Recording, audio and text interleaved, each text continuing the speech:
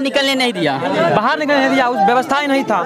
पानी पीने की सिचुएशन कैसा रहा? अंदर का सिचुएशन जो है बहुत ही दयनीय था। जिस तरह का मतलब सोचे थे कि इतना बढ़िया कॉलेज है उस तरह का मतलब कोई सुविधा नहीं था।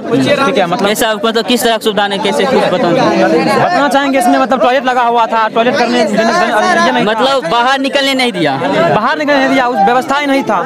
पानी पीने जैसे हाँ, व्यवस्था उसके बाद खास कर बात है कि बिहार बोर्ड का। तो बिहार बोर्ड जो है मतलब आज से अपना ऑफिशियल यूट्यूब चैनल पर आज से 12 घंटा पहले मतलब नोटिस जारी किया कि हम मतलब अब 100 ऑब्जेक्टिव देंगे। जब से अटकल बना हुआ था कि मतलब ये 50 ऑब्जेक्टिव रहेगा या फिर मतलब 100 ऑब्जेक्टिव रहेगा। मतलब ये मतलब विद्यार्थी में जो था सस्पिशन था। लेकिन बिहार बोर्ड जो है अभी से मात्र जो है परीक्षा होने से मात्र 12 घंटा पहले जारी किया कि मतलब अब 100 पूछा जाएगा। तो मतलब पैटर्न ही एकदम चेंज कर दिया। पैटर्न चेंज कर दिया। इससे आप क्या कहना चाहेंगे सरकार को? तो इससे हम मतलब सरकार से कहना चाहेंगे कि मतलब शिक्षा व्यवस्था को जो आप दुरुस्त कीजिए ठीक है? इस तरह का जो है मतलब आप लोग सही जानकारी नहीं देते हैं उस तरह से विद्यार्थी जो है वो मतलब अटकल में पड़ा रहता है और वो जो मतलब उसका रिज़ल्ट गड़बड़ा जाता है। ठीक है तो आपके बातों को आगे रखा जाएगा। देखिए इनका कहना है कि जो 100 100 क्वेश्चन दे दिया बोला गया था अस्सी क्वेश्चन ही देंगे। कौन था?